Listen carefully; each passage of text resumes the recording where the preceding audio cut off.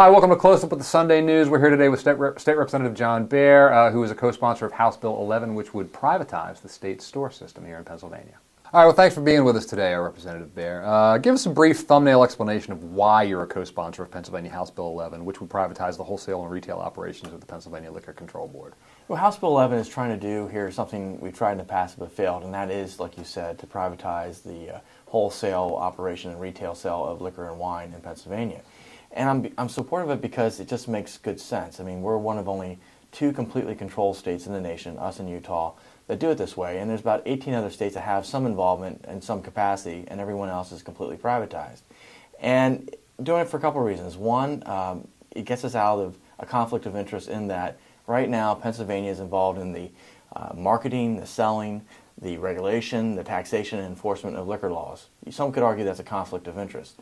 Two, by selling this, we will be getting out of the people, pension, and storefront business and focusing really what our true intent of or what we should be doing as a government is the taxation, regulation, and enforcement part.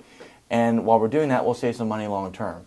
Um, third, we're not going to lose any money. In fact, I think we might actually increase revenue over time because we'll have more locations, we'll have better selection, better competition, better convenience for customers to purchase wherever they want to purchase. And uh, for this, under this bill, you're looking at doubling the, a little more than doubling the retail uh, locations and going from maybe three wholesale to up to 30 wholesale. And I think it's consumer selection and choice is an important thing. But lastly, uh, this, there's no uh, there's really no good evidence saying that if you're privatized, this is going to increase increase bad behavior, whether it be DUIs, underage drinking, what have you. Uh, states that are privatized are no better or worse than, than we are in Pennsylvania.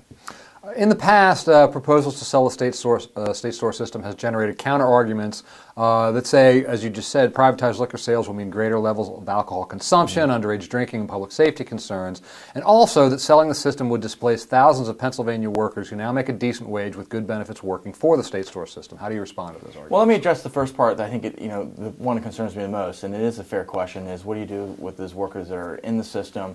It's not their fault that the system's an outdated business model. Uh, we're trying in this bill to find a way to transition them. If we were to pass it, we want to give them uh, tuition credits to go back to school, or I should say cash, give them uh, a leg up in terms of getting another government or state sector job. Um, and we want to treat them fairly, but just because we do have those number of employees doesn't mean we should forever stay in this business model, which again, you don't see 48 other states knocking down our door to get in this uh, business model. So we got to go there and address it. Um, in terms of you know, the other where the hurdles have been is one, the argument's always been you don't kill the goose that laid the golden egg.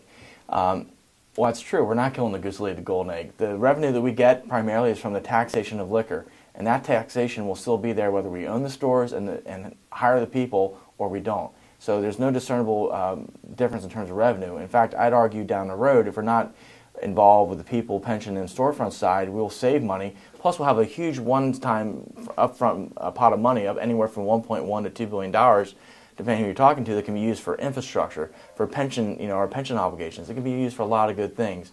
So I think economically makes a lot of sense. And the last thing is, there's a lot of social conservatives and people here in Lancaster County that support liquor privatization. It's different than what most people think. And in fact, we have Pennsylvania Action, which is about to endorse House Bill 11, and uh, I've gotten overwhelming support. And last thing I'd like to throw out there, we did a, a recent town hall here with the leader, Mike Turzai, and a few of my colleagues in Linden Hall. Uh, we had the uh, local union, Wendell Young, and the UFCW uh, Local 1776 come to this meeting. And after that meeting, they ran attack ads on me for two weeks on FM and radio, or I should FM and AM, saying, why does John Bear want to increase your taxes? Please uh, call his office and tell him we don't want privatization. And what's happened is we had 149 calls, 143 support liquor privatization, uh, six did not. So that tells you a lot about central Pennsylvania. Um, let's talk a little bit about the impact of privatization on consumers. The Corbett report noted that if the state were to cease taxing liquor the way it does now and switch to a gallonage tax, uh, in order to generate the same amount of revenue, the gallonage tax would have to be the highest in the nation for wine and the 14th highest for liquor. Do you believe consumers will pay less for liquor in a privatized system, or given the need for the state to generate liquor revenues, will they see much of a change at all? I think um, going to the gallonage tax is what most states do. Uh, what we did was to hold it harmless, so no one could say we are cutting our revenue to the state.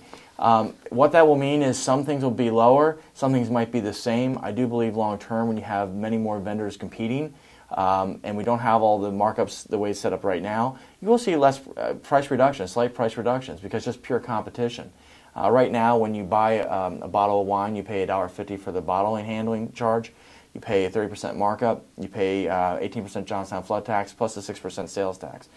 We're getting rid of everything but the 6% sales tax, and some of that is, you know, going to be obviously uh, markup for the vendor, um, but they can compete and and price, you know, like the free market operates. And I think it will create better selection and better prices. And worst case scenario, it might be the same, but at least the stores will be a little bit more unique the way they're set up. It'll be more customer driven. It won't be a monopoly. And I think all of us want, you know, if you believe in free markets, that competition will, will spur innovation, creativity, and better customer service. Do you think we're ultimately going to see, say, larger stores with more selection? Uh, you do see some of those in places like Delaware. Yes. So, and we have uh, in the bill right now, the way it's written, you have two classes. You have Type A class uh, license, which is over 15,000 square feet. So that could be your giant store. It could be your big box retailer, uh, and they have to have a separate section of the store to do this. Or you can see it much like it is today, a smaller store, it's under 15,000 square feet, but they're going to have freedom to do what they want to do and respond to their customer demands. And I think that would show, uh, you know, the things at the end of the day, it could look very different than what it looks like today.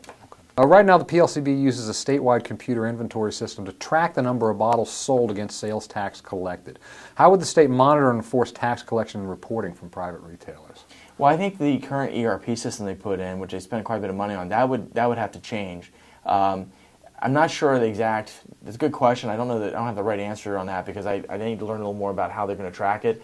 But you know, needless to say, we're going to have to be tracking it like anyone else would, and, and just from uh, tax receipts, we need to know what's being bought or and uh, and sold. Okay. Um, and lastly, then, polls show a majority of Pennsylvania support privatization, but there's been a suggestion this bill could get lost in the shuffle this year, with other issues like the natural gas drilling fee taking precedence. Do you think privatization will make any headway this year?